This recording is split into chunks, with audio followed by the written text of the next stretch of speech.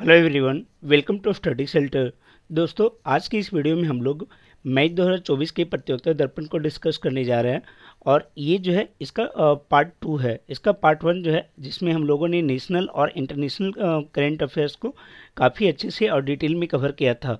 लगभग हम लोगों ने जो है 40 क्वेश्चन के आसपास जो है, इसके जो पार्ट वन थे, उसमें डिस्कस किए थे। और आज भी जो है, लगभग आपको 50 से 60 क्वेश्चन जो है, यहाँ पे देखने को मिलेंगे पार्ट टू वाले में। क्योंकि एक ही वीडियो में जो है काफ़ी लंबा हो जाता है, इसलिए दो पार्ट में इसको लाया गया है। पार्ट टू वाले में आज जो है हम लोग डिस्कस करने वाले हैं।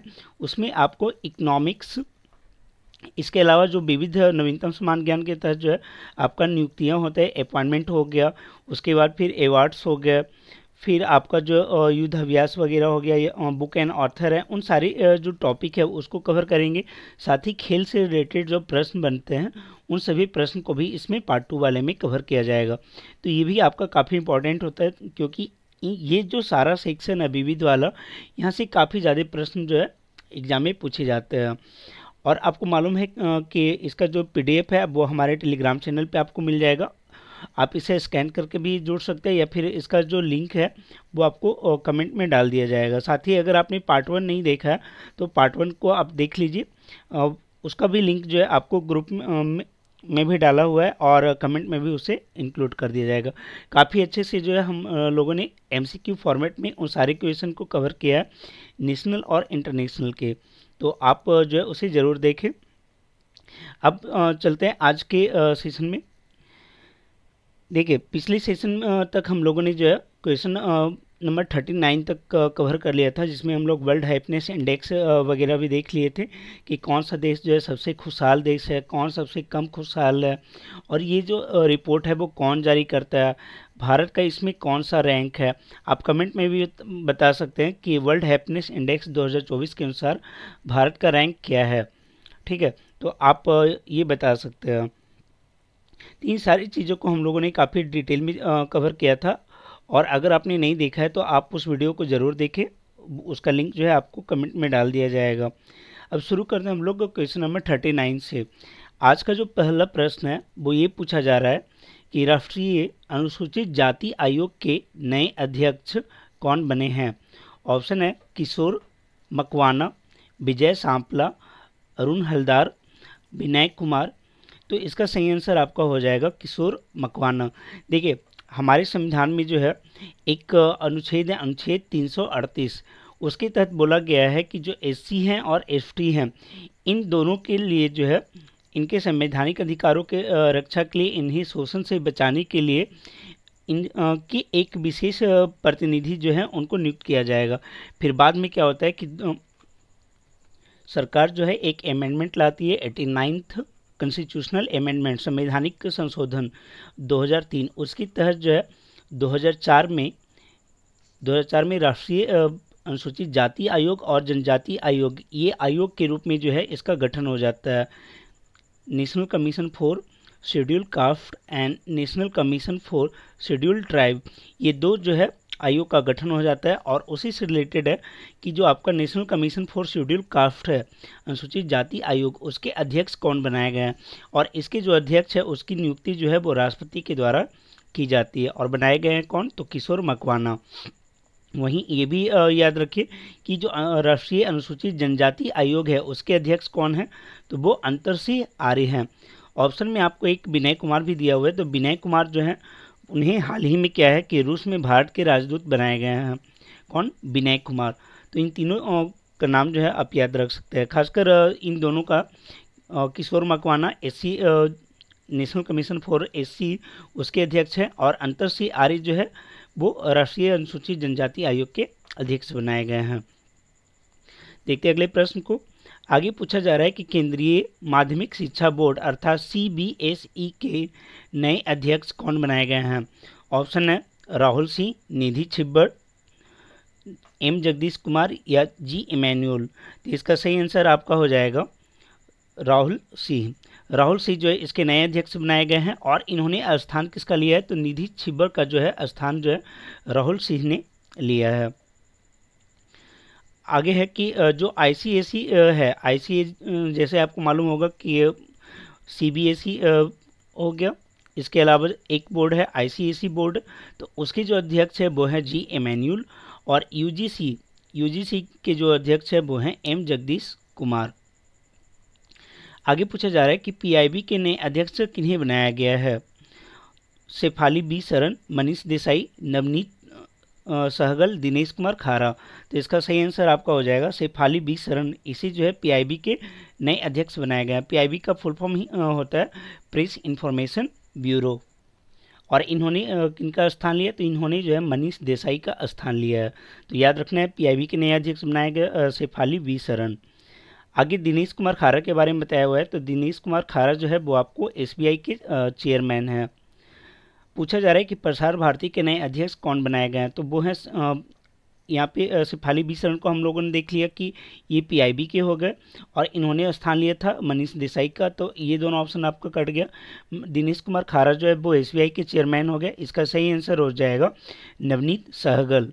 नवनीत सहगल जो है वो प्रसार भारती के अध्यक्ष बनाए गए और प्रसार भारती जो है वो आपका सूचना एवं प्रसारण मंत्रालय के अंतर्गत आता है। इन्फॉर्मेशन एंड ब्रॉडकास्टिंग जो मंत्रालय है, उसके अंतर्गत आता है। आगे पूछा जा रहा है, भारतीय बैंक बैंक संघ के नए अध्यक्ष कौन है? तो देखो, भारतीय बैंक संघ, ये एक ग्रुप है आईबीए इस से जो है आईबीए भी बोलते हैं मतलब जो भी आपका बैंक में हॉलीडे वगैरह होता है बैंक कर्मचारियों से रिलेटेड जो चीज़ें हैं, वो आईबीए देखता है। तो आईबीए के बारे में पूछा जा रहा है कि उसके नए अध्यक्ष किस किसे बनाया गया है? तो याद रखिएगा M V Rao M V Rao जो है, जो पहले सेंट्रल बैंक के मैनेजिंग डायरेक्टर हैं उनको जो है, भारतीय बैंक संघ का नया अध्यक्ष बनाया गया है एम वी राव आगे पूछा जा रहा है कि निम्नलिखित में कौन चुनाव आयुक्त के पद पर कार्यरत है? ऑप्शन है सुखवीर सिंह संधु, ज्ञानेश कुमार, अनूप चंद्र पांडे, ए और बी दोनों। देखिए, जैसा कि हम लोगों ने पिछले वीडियो में भी डिस्कस किया था कि कौन जो है हमारा जो मतलब इलेक्शन कमीशन है, उसमें तीन लोग होते हैं। एक चीफ इलेक्शन कमीशन जो मुख्य आयोग चुनाव आयुक्त तो होते हैं वो, और उसके अलावा जो है, दो और लोग होते हैं। तो वही पूछा जा रहा है कि जो दो और लोग हैं, वो कौन है? तो एक तो आपका सुखवीर सिंह संधू और दूसरा ज्ञानीश कुमार। इन दोनों की नियुक्ति जो है, अभी हाल में ही की गई है। और आपको ये भी मालूम होगा कि अभी इलेक्शन कमीशन के हेड कौन है? तो वो आपका राजीव कुमार है। राजीव कुमार। आप कमेंट में ये भी बता सकते हैं कि अभी जो है कौन सा इलेक्शन चल रहा है, कौन सा जो है वो आपका लोकसभा चल रहा है। आम जो है जो चुनाव है कौन सा चल रहा है। ठीक है? ये हम लोगों ने जो पिछले वीडियो में डिस्कस किया था। तो वही चीज़ें यहाँ पे बताई गई है कि चुनाव आयोग में जो है तीन सदस्य होते हैं, एक मुख्य चुनाव आयुक्त होता है और दो अन्य चुनाव आयुक्त होते हैं। मुख्य चुनाव आयुक्त कौन है? तो राजीव कुमार है। आगे पूछा जा रहा है कि वर्ष 2023 की विश्व सुंदरी मिस वर्ल्ड का खिताब किसने जीता है? ऑप्शन है क्रिस्टीना पिस्कोवा, यास्मीना जैतून, सिनी सेट्टी या मानुसी छिल्लर। देखो इसका सही आंसर हो जाएगा आपका। Krystyna Pyszkova Pyszkova. इन्होंने जो है वर्ष 2023 का जो ये मिस वर्ल्ड का खिताब है, वो इन्होंने जीत लिया है। और इनको जो है, ये उनके बाद जो है मतलब यास्मीना जैतून जो है, वो फ़र्स्ट रनर अप रही थी। और भारत के तरफ़ से इसमें जो है, कौन पार्टिसिपेट की थी तो वो सीनी सेट्टी वो भारत की तरफ़ से पार्टिसिपेट की थी। जबकि पिछले बार अगर आप देखो तो मिस वर्ल्ड का जो खिताब भारत की तरफ़ से जीती है, वो है मानुषी छिल्लर ने। उन्होंने 2017 में जो है ये खिताब जीता था मिस वर्ल्ड का। और अभी तक छः भारतीय महिलाएँ हैं, जो कि मिस वर्ल्ड का एक खिताब जीत चुकी है। सबसे पहली रीता फारिया थी, उसके बाद ऐश्वर्या राय, डायना हेडन, युक्ता मुखी प्रियंका चोपड़ा और मानुषी छिल्लर। इसी से रिलेटेड एक और प्रश्न पूछा जाता है, जैसे कि जो भी मिस वर्ल्ड बनती हैं, उनके कंट्री का भी नाम पूछ लिया जाता है। जैसे आपका 2023 की जो मिस वर्ल्ड है, वो है क्रिस्टीना पिस्कोवा। तो पूछा ये जा सकता है कि क्रिस्टीना पिस्कोवा जो है, वो मिस वर्ल्ड बनी है और वो उनका संबंध किस देश से है? तो याद रखिएगा क्रिस्टीना पिस्कोवा का संबंध जो है, वो चेक गणराज्य से है। चेक गणराज्य। चेक गणराज्य से जो है, इनका संबंध है। देखते हैं आगे। अगला प्रश्न है, पूछा जा रहा है कि राष्ट्रपति ने संगीत नाटक एकेडमी पुरस्कार 2022 से कितने कलाकारों को सम्मानित किया? तो देखिए, जो संगीत नाटक एकेडमी पुरस्कार है, ये अलग अलग जो क्षेत्र है, जैसे संगीत इसमें आपका संगीत हो गया, नृत्य हो गया, नृत्य, रंगमंच, इन सभी जो श्रेणियाँ हैं, इसमें हर एक श्रेणी में जो है बारह बारह जो कलाकार हैं, उनको जो है वो नवाजा प्राइज दिया जाता है। तो टोटल जो है वो छियालीस जो है लोगों को ये प्राइज दिया गया है। तो ऐसे में आपको नाम नहीं पूछा जाएगा कि हाँ कितनी किस व्यक्ति को दिया गया। अगर जब तक कोई ज़्यादा फ़ेमस व्यक्ति नहीं है तब तक वहाँ से प्रश्न जो है पूछा नहीं जाता है। तो बस आपको ये याद रखना है कि राष्ट्रपति ने संगीत नाटक एकेडमी पुरस्कार 2022 से जो है वो छियालीस कलाकारों को जो है सम्मानित किया है। और ये भी आ, साथ में याद रखना है कि जैसे 2022 और 2023 दोनों के लिए जो है एक साथ यहाँ पे घोषित किया गया है। ठीक है तो 2022 में छियालीस व्यक्ति को दिया गया और 2023 में भी छियालीस व्यक्ति को दिया गया। तो ऐसे में 92 व्यक्ति का नाम जो है, वो आपको एग्ज़ाम में कभी भी नहीं पूछा जाएगा कि हाँ इन में से किसको दिया गया। बस आपको जो है पार्टिकुलर ईयर का नाम देके पूछ लिया जाएगा कि कितने लोगों को प्रदान किया गया या फिर कौन देता है तो राष्ट्रपति के द्वारा जो है वो दिया गया है। अगला प्रश्न है Economics Times corporate excellency award 2023 के तहत business reformer of the year पुरस्कार किसे प्रदान किया गया? देखो, कोई भी अगर अवार्ड का प्रश्न है तो वो पुरस्कार का प्रश्न तभी हमारे लिए इंपॉर्टेंट होता है। जब जिस व्यक्ति को दिया जा रहा है, वो व्यक्ति जो है ज़्यादा फ़ेमस है या फिर वो पुरस्कार जो है काफ़ी बड़े लेवल का है। जैसे आप इसे ही देख लो Economics Times corporate excellency award 2023 business reformer of the year का ये जो पुरस्कार है, वो एस जयशंकर को दिया गया है। तो ऐसे में ये प्रश्न जो है आपका पूछे जाने की संभावना ज़्यादा है। और आपको ऐसे प्रश्न याद भी रखने चाहिए। तो याद रखिएगा business reformer of the year पुरस्कार किसे दिया गया है? एस जयशंकर को economics times corporate excellency award के तहत। और business leader of the year का जो प्राइज है, वो सी के वेंकट रमन को दिया गया है। Business women of the year का अवार्ड जो है, वो हीना नागराजन को दिया गया है। और लाइफ टाइम अचीवमेंट पुरस्कार जो है ए एम नायक को दिया गया है। आप यहाँ पे ये भी याद रख सकते हैं लाइफ टाइम अचीवमेंट पुरस्कार किसे दिया गया? तो एम नायक। आपको ये भी याद रखना है कि किस श्रेणी के तहत दिया गया, कौन सा ये जो है अवार्ड दे रहा है। तो economics times corporate excellency award के तहत लाइफ टाइम अचीवमेंट अवार्ड जो है वो एम नायक को दिया गया।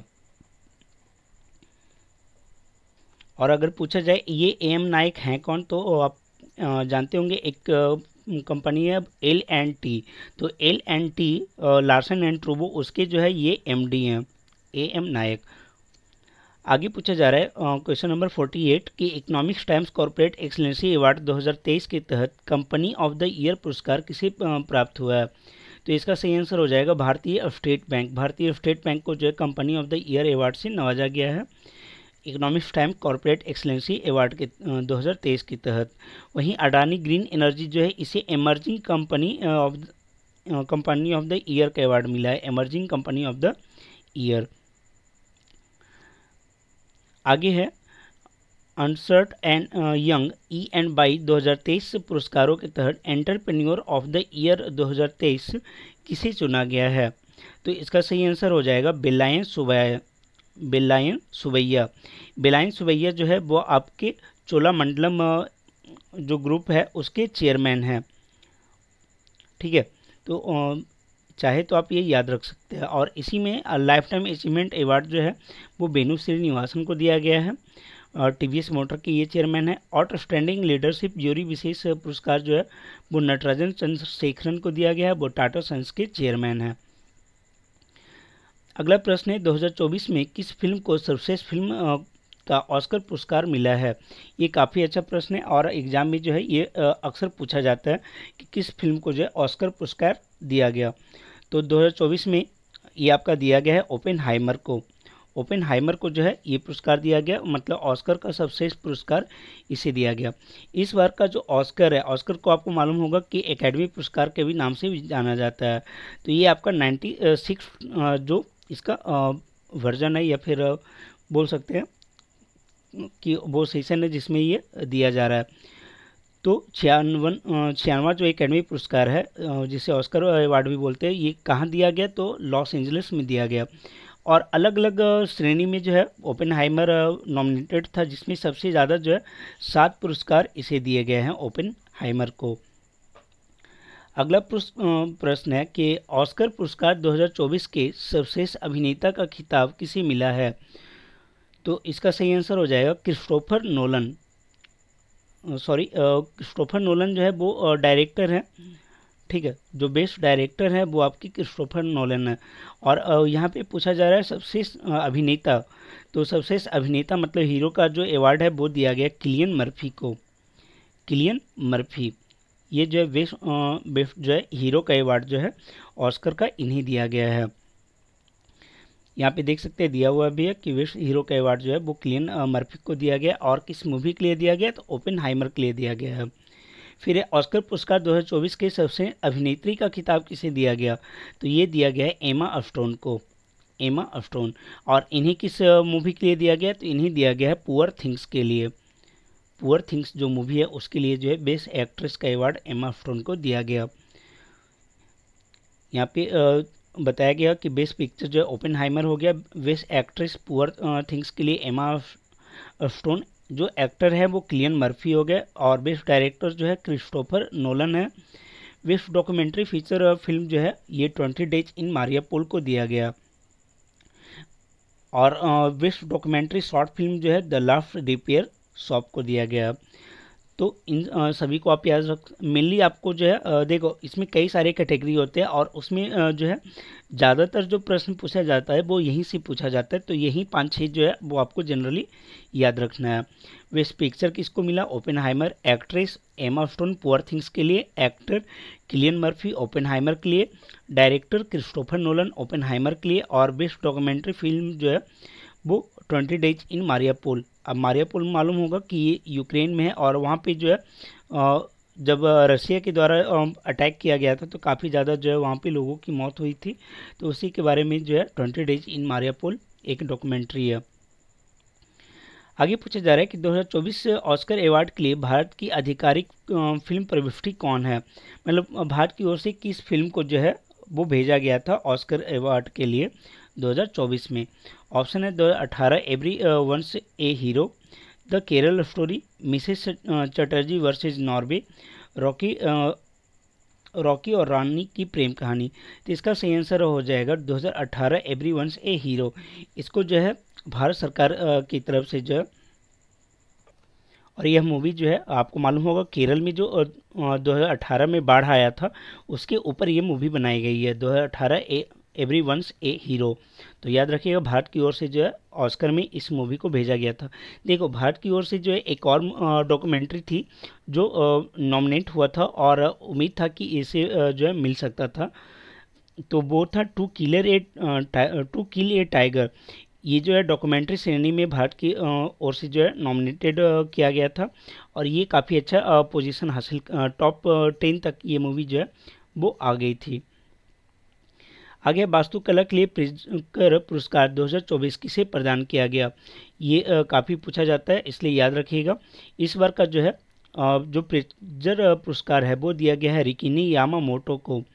रिकिन यामा मोटो और ये दिया किस क्षेत्र में जाता है? तो आर्ट आर्किटेक्ट के क्षेत्र में दिया जाता है वास्तुकला के क्षेत्र में दिया जाता है। और बोला जाता है, ये वास्तुकला का जो है नोबल पुरस्कार है।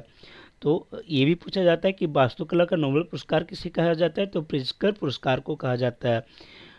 या फिर घुमा के भी आपको पूछ सकता है। और 2024 का ये दिया गया है रिकिनी यामामोटो को। अब रिकिनी यामामोटो जो है वो किस देश से इनका संबंध है। तो ये जापान से है। जापान की ये आर्किटेक्ट हैं। और ये भारत के जो है एक व्यक्ति, बालकृष्ण दोषी, इन्हें जो है 2018 में सम्मानित किया गया था इस पुरस्कार से। आगे एबल पुरस्कार 2024 किसे दिया गया? देखो, पहले तो हम लोग ये जानते हैं कि एबल पुरस्कार किस क्षेत्र में दिया जाता है? तो एबल पुरस्कार जो है वो आपका गणित के क्षेत्र में दिया जाता है। किस क्षेत्र में? तो गणित के क्षेत्र में मतलब मैथ के लिए जो है वो एबल पुरस्कार दिया जाता है। और बोला जाता है गणित के क्षेत्र का नोबल पुरस्कार जो है वो एबल पुरस्कार है। ठीक है, गणित के क्षेत्र का नोबल पुरस्कार बोला जाता है, एबल पुरस्कार को, और इस बार जो 2024 का दिया गया है, वो दिया गया प्रोफेसर मिशेल ताला ग्रांट को। ठीक है, ये फ्रांसीसी एक प्रोफेसर है, उन्हें इस बार दिया गया है। और किस लिए दिया गया तो इन्होंने जो है probability theory and functional analysis इस टॉपिक के ऊपर जो इनका रिसर्च था, उस क्षेत्र उस चीज़ के लिए जो है, इन्हें दिया गया है। आगे पूछा जा रहा है कि अब आगे फिर बताया हुआ है कि जीडी बिरला पुरस्कार 2023 जो है वैज्ञानिक अनुसंधान में वो दिया गया प्रोफेसर अदिति सेन डे को। और ये कहें तो हरिश्चंद अनुसंधान जो संस्थान है प्रयागराज में उसकी एक प्रोफेसर है, उन्हें दिया गया है जीडी बिरला पुरस्कार वैज्ञानिक अनुसंधान क्षेत्र के लिए। ये ज़्यादा इंपॉर्टेंट है एवल पुरस्कार, ये आप याद रखें कि एवल पुरस्कार जो है दिया गया है प्रोफेसर मिशेल तालग्रांट को। और ये फ्रांस की है। आगे बुक एंड ऑथर है। बुक एंड ऑथर को जो है हम लोग इमेज के द्वारा देखने का प्रयास करेंगे। जितना ज़्यादा आप इमेज को जो है याद रख पाइएगा, उतना ज़्यादा ही आप नाम भी याद रखिएगा। तो यहाँ पे पुस्तक है ऑल द डेंजरस थिंग्स तो ये पुस्तक जो है, वो किसके द्वारा लिखी गई है? ऑल द डेंजरस थिंग्स ये लिखा गया है अफ्टेसी बिलियंगम के द्वारा। अफ्टेसी बिलिंगम ऑल द डेंजरस थिंग ठीक है? याद रखिएगा अफ्टेसी बिलिंगम ऐसे इसका हिंदी जो नाम है, वो आपको यहाँ पे मेंशन कर दिया गया है। आप वहाँ से भी याद रख सकते हैं ऑल द डेंजरस थिंग्स अफ्टेसी बिलिंगम उनके द्वारा ये पुस्तक लिखी गई है। आगे है the laugh tell of flower bride the laugh tell of flower bride ये किसके द्वारा लिखा गया? तो ये लिखा गया रोशन चौकसी के द्वारा। Roshan Chokshi. The last tale of flower bride ये एक नावल है और ये लिखा गया है रोशन चौकसी के द्वारा। अगला है द इनेमी द इनेमी जो है वो किसकी पुस्तक है? तो ये जो है सारा एडम्स की पुस्तक है। द इनेमी ये किसकी पुस्तक है? तो सारा एडम्स द इनेमी किसका पुस्तक है तो सारा एडम्स के द्वारा ये लिखा गया है। आगे है वाई भारत मैटर्स ये पुस्तक जो है, किसके द्वारा लिखा गया है? तो एस जयशंकर जो हमारे विदेश मंत्री हैं, उनके द्वारा जो है, ये पुस्तक लिखी गई है वाई भारत मैटर्स और ये काफ़ी इंपॉर्टेंट भी है, आप इसे याद रखें। वाई भारत मैटर्स एक और बुक है smoke and ashes smoke and ashes, ये किसके द्वारा लिखा गया? तो ये अमिताभ घोष के द्वारा लिखा गया। इसमें सबसे ज़्यादा इंपॉर्टेंट आपका जो है वाई भारत मैटर्स हो गया एस जयशंकर का। उसके बाद स्मोक एंड एसेज, ये ये दो बुक जो है आपको ज़्यादा इंपॉर्टेंट है और आप इन दोनों को जो है हर हाल में याद रखें। देखते हैं अगले प्रश्न को। आगे पूछा जा रहा है कि डब्ल्यू का तेरहवा मंत्री स्तरीय सम्मेलन कहाँ आयोजित किया गया? डब्ल्यू जिसे जो है वर्ल्ड ट्रेड ऑर्गेनाइजेशन भी कहा जाता है। और इस बार जो है इसका तेरहवा जो सम्मेलन है, जिसका हेडक्वार्टर जो है जनेवा में है तो उसका पूछा जा रहा है कि जो तेरहवा मंत्री स्तरीय सम्मेलन है, वो कहाँ हुआ था? तो वो हुआ है आपका संयुक्त अरब अमीरात में। तो याद रखिएगा कि डब्ल्यू का जो तेरहवा मंत्री स्तरीय सम्मेलन हुआ है, वो आपका अबू धाबी यूएई में हुआ है। और डब्ल्यूटीओ की स्थापना कब हुई है? तो एक जनवरी 1995 को इसका हेड क्वार्टर कहाँ है? तो स्विट्ज़रलैंड के जनेवा में जो है, ये स्थित है। अगला है, ऑपरेशन इंद्रावती, किस देश में फंसे भारतीय लोगों को निकालने के लिए सरकार द्वारा चलाया गया? ऑप्शन है इसराइल फिलिस्तीन, हैती या चार्ड। तो देखो, इसका सही आंसर हो जाएगा हैती। हैती में क्या है कि वहाँ पे जो राजनीतिक संकट उत्पन्न हो गया और वहाँ पे जो आर्मी है और जो पुलिस है उन लोगों के बीच में जो हम गोलीबारी की घटना हो रही थी, उसी के बाद भारत सरकार के द्वारा ऑपरेशन इंद्रावती चलाया गया और वहाँ पे जो भी भारतीय फंसे हुए थे, उनको निकाला गया। ठीक है? हैती। हैती में जो राजनीतिक और मानवीय संकट उत्पन्न हुआ है, उसके कारण। आगे पूछा जा रहा है कि भारतीय सेना के तीनों अंगों का संयुक्त अभ्यास भारत शक्ति मार्च 2024 में कहाँ आयोजित किया गया? तो ये जो है तीनों जो हमारी सेनाएँ हैं, आर्मी एयरफोर्स और नेवी, इन तीनों के द्वारा जो है, वो एक संयुक्त युद्धाभ्यास किया गया है और वो राजस्थान के पोखरण में किया गया है। राज, राजस्थान के पोखरण में। आगे है समुद्र लक्ष्मण। समुद्र लक्ष्मण 2024 नौसैनिक युद्धाभ्यास भारत ने किस देश के साथ किया है? तो इसका सही आंसर हो जाएगा मलेशिया। भारत ने मलेशिया के साथ समुद्र लक्ष्मण नौसैनिक अभ्यास किया देखो, इस टाइप का जो आपका एक्सरसाइज होता है ना, वहाँ उससे दो तरीके के प्रश्न बनते हैं। पहला, कि किसके साथ हुआ? दूसरा, कि कहाँ पे आयोजित किया गया? तो ये जो है भारत में आयोजित किया गया और भारत में कहाँ पे? तो विशाखापट्टनम में जो है, ये आपका आयोजित हुआ है। समुद्र लक्ष्मण नौसैनिक युद्धाभ्यास। आगे है लामितीय संयुक्त सैन्य अभ्यास, भारत और किस देश के बीच आयोजित हुआ। तो लामितीय जो है भारत और सेसेल्स के बीच ये आयोजित हुआ है। लामितीय सैन्य अभ्यास। और इसका आयोजन कहाँ हुआ है? तो इसका आयोजन जो है सेसेल्स में ही हुआ है।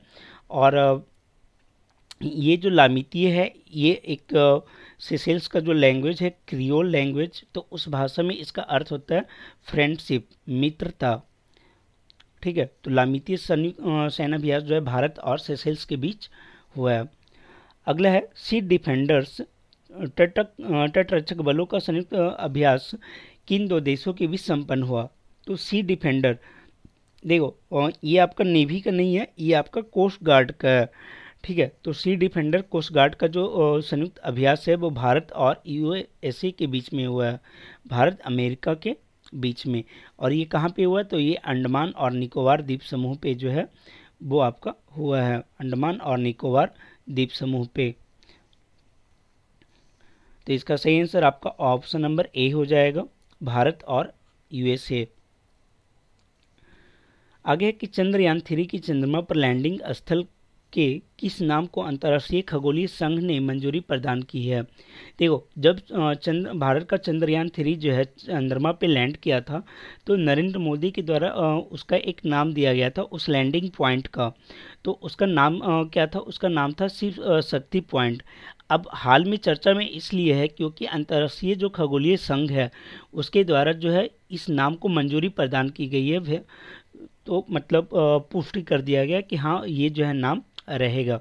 तो इसलिए चर्चा में है उस लैंडिंग पॉइंट का नाम क्या था? तो सिर्फ़ शक्ति पॉइंट और चंद्रयान थ्री के बारे में आपको मालूम होगा कि जो लैंडर है, वो विक्रम लैंडर था और जो रोवर है, वो प्रज्ञान था। और चंद्रमा के दक्षिणी ध्रुव पे लैंड करने वाला जो है, भारत पहला देश बना था। साथ ही लैंडिंग जो है, कब हुआ था? तो ये 23 अगस्त 2023 को लैंड किया गया था। और इसलिए जो 23 अगस्त है, उसे हर साल अब अंतरिक्ष डे डे के रूप में मनाया जाएगा, स्पेस डे के रूप में मनाया जाएगा। आगे है उन्नीसवा, विश्व इंडोर एथलेटिक्स चैंपियनशिप कहाँ आयोजित किया गया? तो देखो जो इंडोर एथलेटिक्स चैंपियनशिप है, ये आपका आयोजित किया गया है ग्लासगो में। कहाँ? ग्लासगो। तो ग्लासगो में आयोजित किया गया और ये भी आपका यूके का ही पार्ट है। और इसमें कुल कितने देश पार्टिसिपेट किए थे? 128 देश और उसमें शीर्ष पे जो है, वो यूएसए था। भारत की तरफ़ से दो लोगों ने पार्टिसिपेट किया था, लेकिन कोई भी पदक जो है, इसमें भारत अर्जित नहीं कर पाया है। तो याद रखिएगा, उन्नीसवा विश्व इंडोर एथलेटिक्स, ठीक है? वो आपका ग्लासगो में हुआ। है आगे फ्रेंच ओपन का युगल खिताब किसने जीता है? तो इसका सही आंसर है सात्विक साईराज, रैंकी रेड्डी और चिराग शेट्टी ने जो है, वो फ्रेंच युगल का खिताब जीता है। और ये जो फ्रेंच युगल है, वो आपका बैडमिंटन का है। ठीक है? बैडमिंटन का जो फ्रेंच युगल है, उसमें इन लोगों ने युगल खिताब जीता है। सात्विक साई राज रैंकी रेड्डी और चिराग शेट्टी ने। और बैडमिंटन से रिलेटेड एक और है कि all England open badminton championship ये आयोजित हुआ बर्मिंघम में और इसमें पुरुष एकल जो है जोनाटन क्रिश्चियन ने जीता और महिला एकल जो है कैरोलिना मारिन ने जीता था। 2024 में बिलियर्ड्स के हॉल ऑफ़ द फेम में किस भारतीय को शामिल किया गया है? तो हॉल ऑफ़ द फेम में जो है बिलियर्ड्स के लिए वो पंकज आडवाणी को शामिल किया गया हॉल ऑफ़ द फेम में। और पंकज आडवाणी एक काफ़ी बड़ा नाम है और ये बिलियर्ड्स के लिए जो है जाने जाते हैं।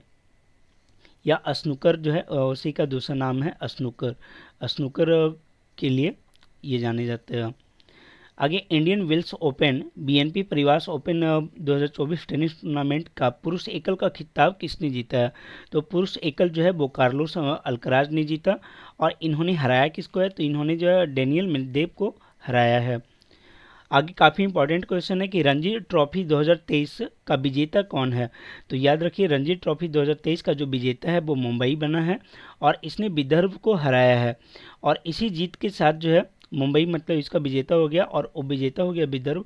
और इसी जीत के साथ मुंबई अपना बयालीसवां रणजी ट्रॉफी जो है, वो हासिल किया। है और इसमें कितना प्राइज मनी दिया जाएगा तो पाँच करोड़ रुपया जो है दिया जाएगा। और इसी बार जो है इसका प्राइज मनी में बढ़ोतरी किया गया था और विजेता आपका विदर्भ हो गया। आगे अखिल भारतीय शतरंज महासंघ के नए अध्यक्ष कौन बने हैं? तो याद रखिएगा शतरंज महासंघ का जो नया अध्यक्ष है वो बने हैं नितिन नारंग। नितिन नारंग को जो है शतरंज महासंघ का अध्यक्ष बनाया गया है। और विश्वनाथ आनंद जो है भारत के प्रमुख एक शतरंज खिलाड़ी हैं। आगे डब्ल्यू से रिलेटेड जैसे आपका IPL हो, है, उसी तरीके से जो है डब्ल्यू भी होता है। डब्ल्यू हो गया वुमेन प्रीमियर लीग तो ये आपका पूछा जा रहा है कि वुमेन प्रीमियर लीग 2024 की विजेता टीम कौन सी है? कौन सा टीम जो है, ये खिताब इस बार जीता है? तो वो जीता है आरसीबी रॉयल चैलेंजर बेंगलोर ये जो है इस बार का खिताब जीती है। और ये जो है हराया किसको है तो इन्होंने जो है दिल्ली कैपिटल्स को हराया था। देखो, टोटल पाँच टीमें जो है इसमें पार्टिसिपेट कर रही थी और उन पाँच टीम में से दो टीम जो है, वो फाइनल में जाती है और वो दो टीमें दिल्ली कैपिटल्स और आरसीबी, जिसमें आरसीबी जो है, वो विजेता होता है। तो वही दिया हुआ है कि डब्ल्यू पी एल दो हज़ार चौबीस, वुमेन प्रीमियर लीग और इस, ये इसका जो है मतलब डब्ल्यू पी एल का सेकेंड सेशन ही था, दूसरा आयोजन हुआ है। और ये आई के द्वारा किया जाता है। पाँच टीमें जो है इसमें शामिल थी। विजेता आरसीबी हुआ और विजेता को जो है छः करोड़ रुपया दिया गया। जो उप विजेता था दिल्ली कैपिटल्स, उसे जो है तीन करोड़ रुपया दिया गया था। एक चीज़ और आप याद रखिएगा, जो विजेता टीम है आरसीबी ठीक है, इसके जो कैप्टन है वो स्मृति मंधाना थी। स्मृति मंधाना। स्मृति मंधाना। और जो दिल्ली कैपिटल्स है, इसकी जो कैप्टन ही थी वो ऑस्ट्रेलिया की मिग लैनिंग मिग लैनिंग, ये इसकी कैप्टन थी। आगे के डब्ल्यू पी एल दो हज़ार चौबीस का पर्पल कैप किसे मिला? ऑप्शन है श्रियंका पाटिल, आशा शोभना, सोफी मोलेनिक्स, दीप्ति शर्मा। तो इसका सही आंसर हो जाएगा श्रियंका पाटिल। सबसे बड़ी बात है कि ये तीनों खिलाड़ी जो है वो आरसीबी की ही हैं। और इन तीनों ने जो सबसे आ, मतलब अच्छा परफॉर्मेंस किया श्रियंका पाटिल ने तेरह विकेट लिए आशा सोमना बारह विकेट सोफी मोलेनिक्स जो है वो भी बारह विकेट ली थी। तो सबसे ज़्यादा विकेट जो लेता है उसे दिया जाता है पर्पल कैप तो पूछा जाता है एग्ज़ाम में कि पर्पल कैप किसे दिया गया? तो डब्ल्यू का जो है पर्पल कैप श्रियंका पाटिल को दिया गया। श्रियंका पाटिल ई टीम की ही है इन्होंने तेरह विकेट लिया और इन्हें पाँच लाख रुपये जो है दिए गए। और यहाँ जो दीप्ति शर्मा है, दीप्ति शर्मा एकमात्र ऐसी खिलाड़ी थी इस बार जिन्होंने हैट्रिक लिया था। हैट्रिक बोला जाता है कि लगातार तीन गेंदों पे जो है, तीन जो बैट्समैन हैं, उन्हें आउट करना। तो वो हैट्रिक जो है, एक दीप्ति शर्मा के ने लिया है। आगे पूछा जा रहा है कि डब्ल्यू पी एल दो हज़ार चौबीस का ऑरेंज कैप किसे मिला? ऑरेंज कैप उसे दिया जाता है जिसने जो है पूरे टूर्नामेंट में सबसे ज़्यादा रन बनाया हो। तो ऑरेंज कैप किसे दिया गया है? तो वो दिया गया एलिस पैरी को। एलिस पैरी जो है, ये भी RCB की हैं। आर की खिलाड़ी है।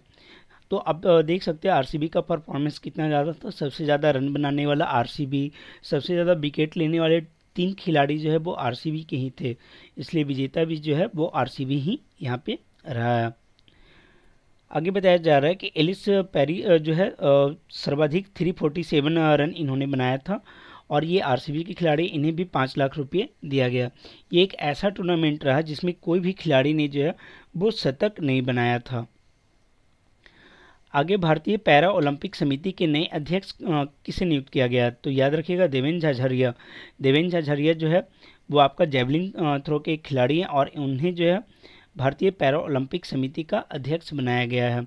और इन्होंने स्थान किसका लिया तो दीपा मलिक का इन्होंने जो है, वो स्थान लिया है। देवेंद्र झाझरिया जो है, टोक्यो ओलंपिक में सिल्वर मेडल इन्होंने हासिल किया था। आगे की तैतीसवां ग्रीष्मकालीन ओलंपिक खेल कहाँ आयोजित किया जाएगा? तो तैतीसवां ग्रीष्मकालीन ओलंपिक खेल जो है, ये आपका आयोजित होगा पेरिस में, ठीक है? तो और उसके बाद ये तैतीसवां जो होगा, वो आपका 2024 में होगा, फिर लॉस एंजलिस में 2028 में होगा, ब्रिस्बेन में जो है 2032 में होगा। तो ये आगे आने वाला जो है आपका, जो ग्रीष्मकालीन ओलंपिक है, उसका है। फिर 2026 में जो है 2026 में ये आपका इटली की जो मिलान शहर है, और वहाँ पे शीतकालीन ओलंपिक होने वाला है। तो याद रखिए, तैतीसवां ग्रीष्मकालीन ओलंपिक पेरिस में होगा, चौंतीसवां जो है लॉस एंजल्स में, पैंतीसवां जो है वो ब्रिस्बेन में। और उम्मीद किया जा रहा है कि भारत जो है वो छत्तीसवां जो ग्रीष्मकालीन ओलंपिक है, उसको होस्ट करे। अभी कंफर्म नहीं है, बस भारत प्रयासरत है। तो अभी अपडेट इसलिए है क्योंकि पेरिस ओलंपिक के लिए जो भारतीय दल है, उसके प्रमुख जो है वो एम सी मैरीकॉम को बनाया गया और उप प्रमुख जो है शिवा केशवन को बनाया गया। वहीं भारतीय दल जो दल के ध्वजवाहक होंगे, वो शरद कमल होंगे। हालाँकि एंड टाइम पे ये सारा चेंज भी हो सकता है। बस आप ये याद रखो कि तैतीसवा जो ग्रीष्मकालीन ओलंपिक है, वो आपका पेरिस में होने वाला है। कभी कभी क्या होता है कि आपको जो है, वो ईयर नहीं दे के सीधा यही पूछा जाता है कि तैतीसवां ग्रीष्मकालीन, चौंतीसवां ग्रीष्मकालीन और ऐसे अगर ईयर दे दे कि हाँ भाई 2028 में कहाँ होगा, तब तो आप आसानी से बता दोगे। लेकिन आपको ये क्रम भी याद रखना होगा कि कौन से क्रम में हो रहा है। चौंतीस जो है, वो लॉस एंजल्स में 2028 में होगा। अगला जो प्रश्न है, वो है इकोनॉमिक्स से। पूछा जा रहा है कि राष्ट्रीय आय संबंधित आंकड़े कौन जारी करता है? राष्ट्रीय सांख्यिकी कार्यालय, आरबीआई, वित्त मंत्रालय या नीति आयोग? तो इसका सही आंसर हो जाएगा आपका राष्ट्रीय सांख्यिकी कार्यालय, एनएसओ। उसके द्वारा जो है ये आंकड़े जारी किए जाते हैं। और अभी देखो ये चर्चा में इसलिए था क्योंकि 2022-23 के मूल पे जो है बताया गया कि हमारा जो प्रचलित मूल्य पे नेशनल इनकम है, वो कितना है? तो दो सौ चौंतीस दशमलव तीन नौ लाख रुपया। और इक्कीस बाईस में कितना था? तो दो सौ छः दशमलव पाँच तीन लाख रुपया। अब समझते हैं कि नेशनल इनकम होता क्या है? ठीक है, नेशनल इनकम क्या होता है? बोला जाता है भारत का जो कुल जीडीपी है, ठीक है भारत का जितना कुल जीडीपी है अगर उस जीडीपी में हम लोग पॉपुलेशन से डिवाइड कर दे आबादी से डिवाइड कर दे तो ये हमारा अच्छा ये तो आपका प्रति व्यक्ति आय आ गया सॉरी ये आपका जो है प्रति व्यक्ति आय आ गया अगर हम लोग अगर हम लोग जो है देश के कुल जीडीपी में ठीक है देश की आ, कुल जीडीपी में अगर हम लोग पॉपुलेशन आबादी से डिवाइड कर दे तो वो हमारा प्रति व्यक्ति आय निकलता है। राष्ट्रीय आय क्या होता है?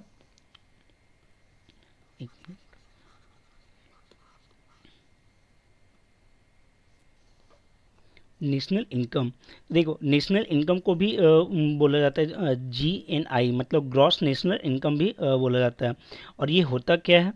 तो जो जीडीपी है हमारे देश का, अगर उस जी जीडीपी में जो है, हम लोग जो बाहर से मतलब सिंपल ये समझो कि बाहर जो हम लोग खर्च कर रहे हैं ठीक है, उसे बोला जाता है कि E X F S minus I M F S मतलब जो मनी फ्लो हो रहा है आपका फॉरेन कंट्रीज़ में, अगर उसमें से हम लोग जो है, जो इंपोर्ट कर रहे हैं, अगर उसको घटा ले, ठीक है एक्सपोर्ट में से अगर इम्पोर्ट को अगर हम लोग घटा लें और उसे जीडीपी में अगर ऐड कर दे तो हमारा वो क्या निकल जाता है? वो हमारा नेशनल इनकम निकल जाता है। सिंपल ये है कि पूरे साल में हमारे संसाधनों के द्वारा जो पूंजी निर्गत हुई है, जो फाइनल पूंजी प्राप्त हुआ, उसका जो वास्तविक मूल्य है, ठीक है, उसका जो मौद्रिक मूल्य है, वही हमारा क्या होता है? जीडीपी होता है और उसमें जो बाहर से जो हम लोग इंपोर्ट कर रहे हैं, अगर उसे घटा दे और जो हमारे एक्सपोर्ट में से अगर इंपोर्ट को घटा दे तो फाइनल जो ऐड करते वो हमारा जीडीपी में जो ऐड करते वो हमारा नेशनल इनकम आ जाता है राष्ट्रीय आय आ जाता है। और अगर आप देखोगे पीडी में तो इसमें काफ़ी लंबा चौड़ा चीज़ें आपको दिया हुआ है कि हमारा जो जीडीपी है तो वो कितना रहा? तो देखो जो जीडीपी या कोई भी जो डेटा इकोनॉमिक्स में जारी किया जाता है वो काफ़ी फ़िल्टर करके जारी किया जाता है। तो उसमें क्या होता है कि पहले आपको बोला जाएगा कि हाँ अग्रिम अनुमान ये है ठीक है? दो तीन बार जो है वो अग्रिम अनुमान निकाला जाता है कि इतना अनुमान रहने का उम्मीद है दूसरे अग्रिम अनुमान में मतलब तीन बार निकाला जाता है अग्रिम अनुमान। उसके बाद फिर अन, अंतिम आंकड़े अंतिम से पहले का आंकड़ा फिर होता है अंतिम आंकड़े। इस तरीके से जो है आपका फ़िल्टर होते रहता है कि इतना जीडीपी रहा। और जनरली एग्ज़ाम में क्या है कि आपको पूछा जाता है, अंतिम आंकड़ा क्या रहा? और अंतिम आंकड़ा आते आते जो है आपको एक साल लग जाता है। तो उतना जो है हमें इंपॉर्टेंट नहीं हो जाता कि हाँ हम अग्रिम अनुमान को याद रखें कि कितना अग्रिम अनुमान रहा। बस अंतिम आंकड़े और अंतिम आंकड़ा जो जब आता है, तब हम लोग याद रखेंगे। इसलिए आपका जो एक टॉपिक था जीडीपी ग्रोथ कितना रहा, तीसरे तिमाही माह में, उसका जो अग्रिम अनुमान है, दूसरा अग्रिम अनुमान उससे जो रिलेटेड डेटा दिया गया है, उसको यहाँ पे हम लोग इंक्लूड नहीं कर रहे क्योंकि फिर आपका अगले महीने जो है, वो उसका तीसरा अग्रिम अनुमान आ जाएगा। उसके बाद फिर अगले महीने जो है, वो आएगा कि अंतिम आंकड़े कितने रहे। तब आपके लिए वो होगा कि हाँ भाई, हमारा जो 2023-24 का फाइनेंशियल ईयर ख़त्म हुआ है, उसमें जीडीपी ग्रोथ कितना रहा, वो आपका एक्चुअल में पता चलेगा। ठीक है?